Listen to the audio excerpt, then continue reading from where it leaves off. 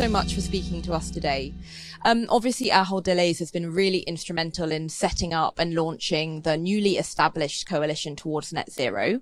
What are your reflections more broadly in terms of where CGF members are in terms of climate impact? Are things accelerating, on hold?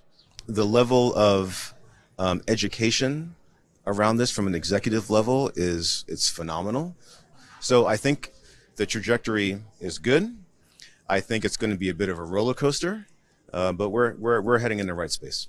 Fantastic to hear, Grant. Thank you so much for sharing your reflections. And what's next for your organization and gives you confidence for the future? We just launched our new purpose.